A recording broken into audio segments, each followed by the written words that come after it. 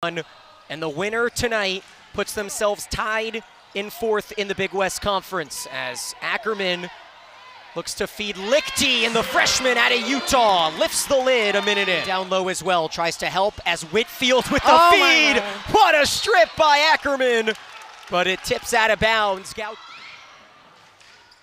How will Cal Poly generate offense against the lengthy defense of the Gauchos? Is Ackerman on go-ed off the bank, 8-6 Crucial game inside. in the Big West Conference, but the Highlanders chipped away, forced OT, one on a buzzer beater as Richards from three gives Cal Poly their first tray here tonight. Cal Poly with a chance here to pull within one or tie the game as Richards open from three. That unorthodox shooting motion has a pair of threes and we're tied. Not made a basket in three minutes. They've been the benefactor of some foul calls and hoping to continue to do so as Borland up and under with some spin.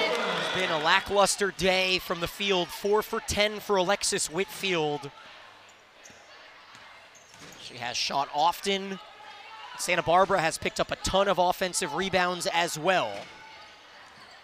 As Shaw finds open space and drains it, giving Cal Poly 31st. Annika Shaw, who has certainly seen her role change throughout her few years here, the junior from Palo Alto, as now offensive flurries come. Shaw back to McNicholas and one. That was a volleyball set by Shaw.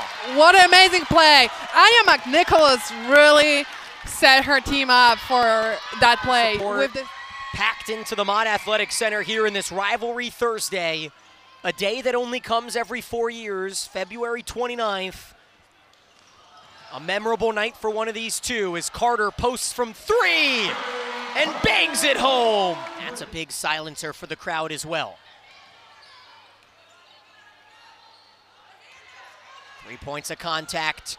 Gorgeous pass to Richards. That'll get the crowd back in it. Seconds left in this third quarter. Things have really settled down in this third quarter, hasn't that? Both yeah, they're playing long shot clocks too.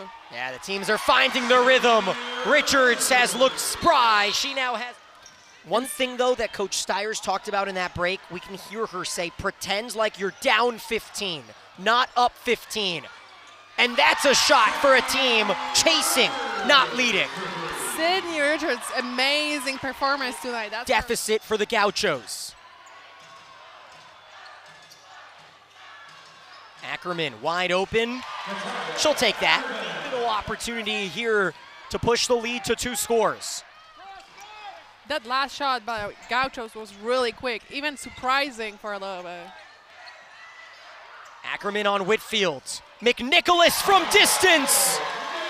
And a huge three for the Cornell transfer. Now Whitfield drives and she's rejected by Ackerman. Same split here in season two of the Stires saga. And that free throw will seal it. The Mustangs lead by seven. With six seconds to go. And a, and a turnover. McNicholas, the lay-in, just to drive the knife a little deeper into their rivals to the south. And Cal Poly shakes the webs from a few days ago and defeats UC Santa Barbara by nine.